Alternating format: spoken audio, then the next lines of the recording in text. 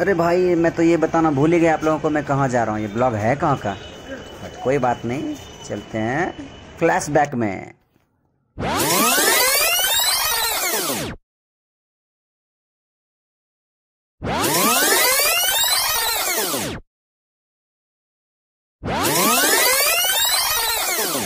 तो भैया, हम विक्रमशिला ट्रेन से दिल्ली पहुँचने वाले थे हमारा एक्साइटमेंट बढ़ता जा रहा था।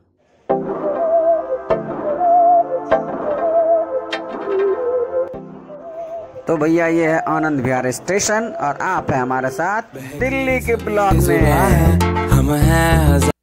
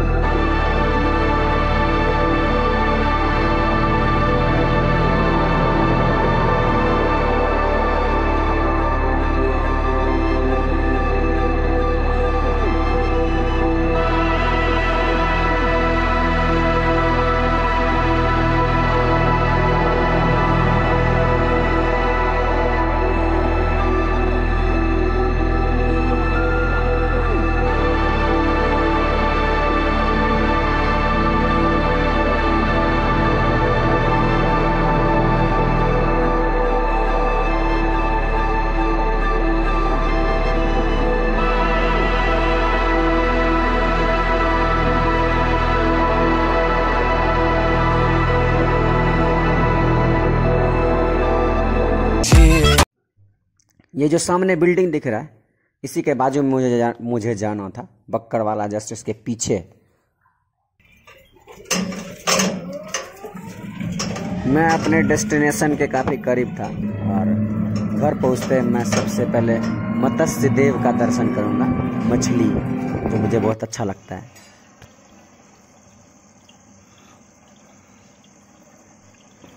मछली के खाने पीने का समय हो गया था और मुझे भी काफ़ी भूख लग गया था।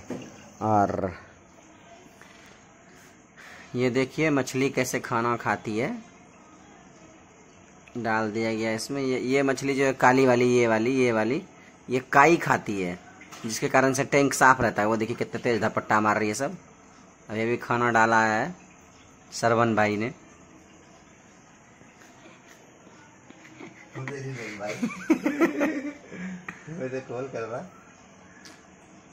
मछली को खाना डालकर हम लोग भी नीचे खाने के लिए निकल रहे थे। अगर आपको वीडियो अच्छा लगा तो एंजॉय करिए और लाइक करिए शेयर करिए कमेंट करिए। ये छोटी वाली मछली नीचे ये भी अगले ब्लॉग में मैं आपको दिखाऊँगा। हम लोग रिटर्निंग ब्लॉग में काफ़ी ज़्यादा संघर्ष किए थे। रिटर्निंग का ये ब्लॉग है मैं आपको दिखाता हूँ। और हम लोग काफ़ी तेज़ आंधी तूफ़ान में फंस गए थे मेट्रो में। फिर कैसे हुआ क्या हुआ? अभी आप टाउन का वीडियोस देखिए। ये रहा रियल दिल ही नेक्स्ट ब्लॉग में मिलते हैं। Like share comment please thank you to the city streets. We began to feel the fire. उस टाउन का है और हमारे साथ एंजॉय करिए एंटरटेन करिए। अगर वीडियो अच्छा लगे तो कमेंट करके बताइए कैसा लगा।